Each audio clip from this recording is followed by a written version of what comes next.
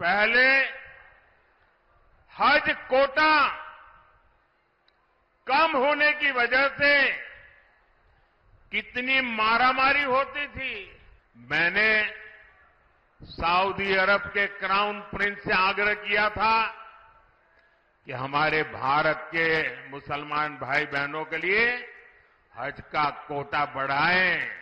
सरकार ने महिलाओं को बिना महरम हज जाने की अनुमति भी दी।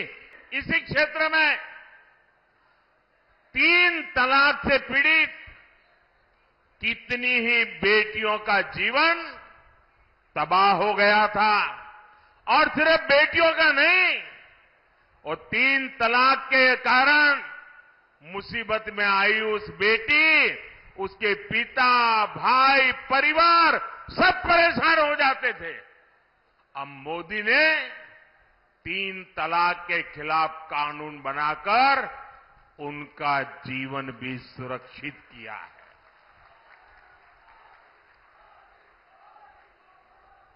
पहले हज कोटा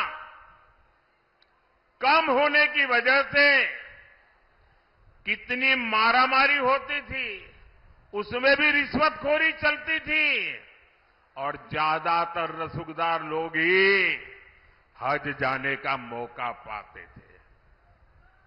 मैंने सऊदी अरब के क्राउन प्रिंस से आग्रह किया था कि हमारे भारत के मुसलमान भाई बहनों के लिए हज का कोटा बढ़ाएँ।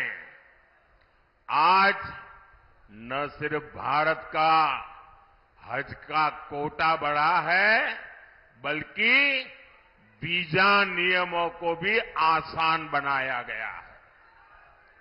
सरकार ने एक बहुत बड़ा अहम फैसला लिया।